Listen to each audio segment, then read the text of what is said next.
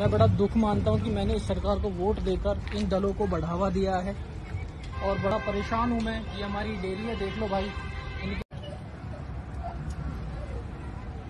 नमस्ते भाइयों मैं कपिल बेसर मग्गापुर से। बड़े दुख के साथ कहना पड़ रहा है कि मैंने उस सरकार को वोट दिया है जहाँ कुछ दलें अपनी मनमानियाँ करने लगे हैं।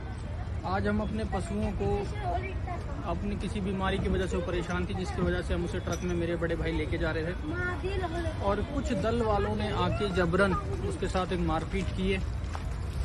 उस पुलिस बुलाई है, पुलिस बुलाकर हम पे जबरन हम पे दबाव बनाया गया। आप बहुत गलत कर रहे हो, आप जानवरों को काट के और खाने वाले लोग हम हिंदू समाज से, गायों का 30-35 साल से लालन पोषण कर रहे हैं। और हमारी ये कम से कम 30-35 जानवरों की एक डेयरी है, जिसमें हम इनका रहना सहना, इनकी देखभाल करते हैं। और लोग हमारे ऊपर आकर ऐसा दबाव बनाते हैं, वो भी पुलिस के साथ। तो मुझे लगता है ये बड़ा शर्मिंदगी वाला दिन है।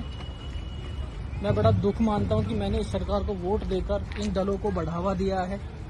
और बड़ा परेशान हूँ मैं ये हमारी डेयरी है, देख लो भाई, इनके अंदर भी गायें हैं और हम तीस पैंतीस सालों से गाय और दूध का काम है हमारा।